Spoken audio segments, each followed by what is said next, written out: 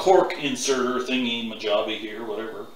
So basically this is how we do it. And this little, if you don't have this siphoning tube with the shutoff valve on it, you can actually do it from here by using this hand squeeze shutoff. But um, it's a lot easier like this.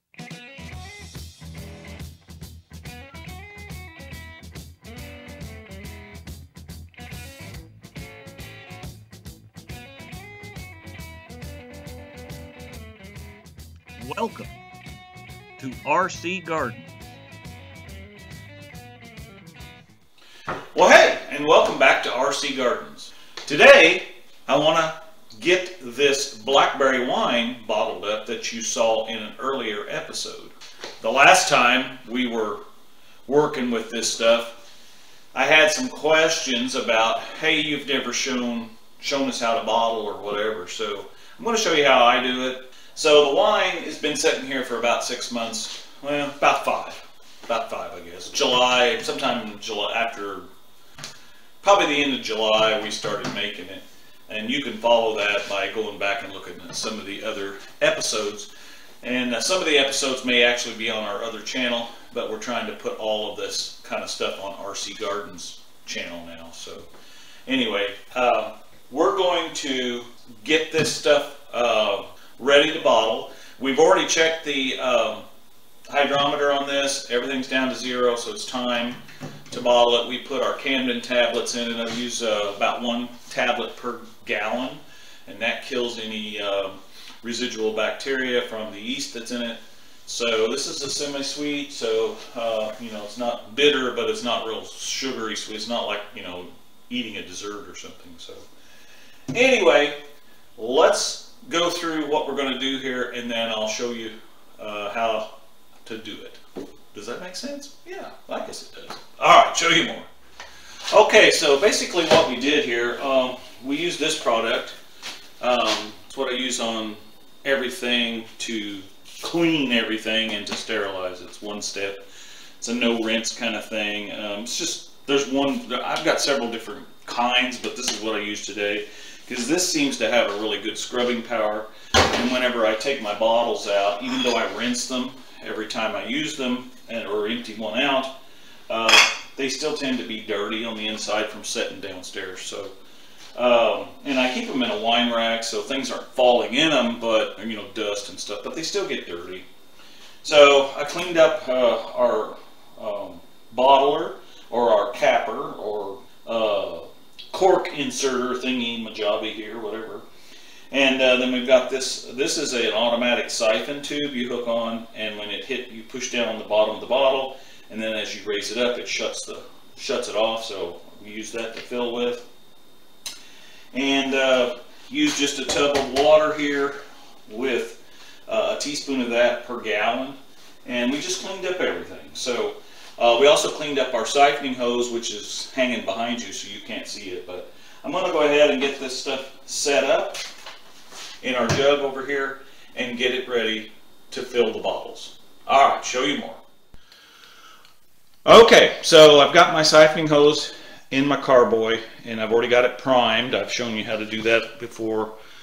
It's the same way as when I do my beer. And so then uh, what we've got here is these dark bottles uh, I can fill those, but I'm not going. to I'm going to fill them off camera because you can't really see the fluid or the wine in this instance going into it. So let me um, let me get down here and uh, show you what we're doing here. Because this thing's got a automatic feed, so I'm going to lift it up out of that bottle, and we're going to start putting it in this bottle and hopefully you can see that filling with some blackberry wine. So again, this wine turned out to be about say about six, five, five and a half, six. It's not very, not very high alcohol content, and like I said, it's not real sweet. Uh, it's definitely not, you know, like, uh, you know, an ice wine or something like that. This is just kind of a mid, just something to sip on. It's nothing, you know, it's not uh, and it will have a pretty good blackberry flavor, or it does. I've tasted it, so. So basically this is how we do it. And this little, if you don't have this siphoning tube with the shutoff valve on it, you can actually do it from here by using this hand squeeze shutoff. But um, it's a lot easier like this. Uh, the amount of this area that this thing takes up in the bottle just makes it about right when you stop it and pull it out um, to, to have room for the cork and a little bit of airspace. So you can see when we get it up here to top, then we pull up on it, see how it just makes it right at the same thing. Okay, so I'm going to get these filled, and then I'll come back and show you uh, when we go to put the corks in the bottles. All right, show you more. Okay, so uh, we wound up with uh, 2, 4, 6, 8, 10, 12, 14, 16, 18 bottles and I had a little bit of this left over, or had a little left over. Um, so I'm just going to put this in this little uh, California crafty uh, thing, and I'm going to put that in the refrigerator, and we'll sip on that first. Um, so I want to show you how to bottle this. So um, I just bottled this one, so we'll set it over here. Basically, we're going to take our uh, handy dandy little, uh, uh, I guess, cork inserter tooly thing. I don't know what it's really called.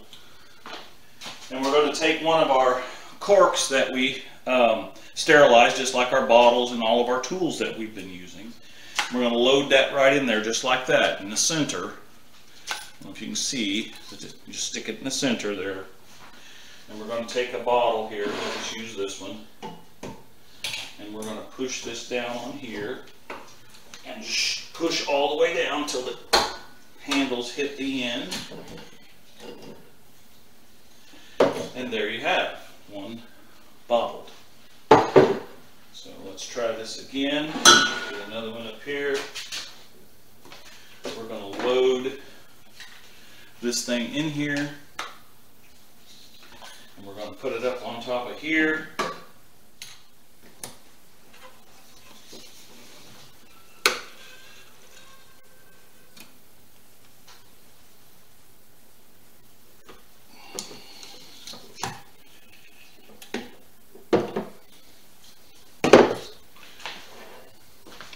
And there you have it. Okay, so what I'm going to do is go ahead and bottle the rest of these, and then I'll show you when I get done. Show you more. Okay, well as you can see, the old uh, carboy back here is empty, except for some dreads in the bottom. Uh, and that's just kind of some junk that'll get thrown out. You know, we've racked this wine before on the channel, and, and that gets that separation and all that dead stuff that gets cooked out of it, and uh, all the debris falls to the bottom. We did that about four times, four or five times over this last five and a half months. So so there's always going to be a little bit in the bottom. And if you keep this, if the wine stays around long enough, it may not because I give it away and stuff. But if it does stay around for a couple of years, you'll start to see, because we'll store them like this so that the moisture stays in the cork. And you'll sometimes see some sediment along the bottom. And uh, you can just pour against that so that the air, when you're pouring, you know, it doesn't boil that out. So just make sure it's on the bottom, pour it out, and you, you won't get that in your glass. They do make some uh, little tools that you put in the end of your wine bottle after you open it uh, that has a screen in it. Um, I have one of those sometimes. If uh, I've got some wines down there that are 15 years old or 20, even 20, I think. Yeah, in one one instance uh, that I've made, they they hold good as long as you keep them cool and in a dark place. Um, I find that homemade wines last better in these dark bottles. This is a blue bottle. Um, you saw us bottling in these clear ones. Um, but if you keep them in the, like we have a place downstairs, so I keep them dark, in the dark, and keep them cool. Um, they'll last for years, actually. So, but I'm sure this wine won't last that long because everybody likes blackberry wine around here, and so it'll go quickly. Uh, I probably will take some tape, something similar to what you can see has been on here at one time, and I'll put on there uh, Blackberry 2022, and uh, so that kind of gives me an idea. If one of them does stay around, that you know, hey, when was it made? So, but anyway, that's kind of all I got here. So. Um, I hope you enjoy the channel. There's more to come. This uh, we're going to start. Uh, I mean, it's January now, so yeah, you know, we just got the blackberries transplanted. We won't have a lot of blackberries this year, um, but we will have some. The following year, we should have a lot. But we're going to do a lot of gardening uh, coming up soon. We got to get the garden ready. There's some early stuff we can plant when it's still cold out, like lettuce and radishes and different things like that. So we're going to do that. And uh, we're also going to do some canning this summer uh, once we get a harvest. Um, and we're going to make some jellies. And uh, you may even see some cooking going on yet this winter. So stick around. Hope you enjoy the channel. Subscribe today. Tell all your friends about it. And if you got questions, hey, just drop us a, a line down below. Uh, go over to the About section, and all of our contact information is right there. So. Anyway, thanks for coming along. And remember, you can grow it too. You just need to get out there and do it.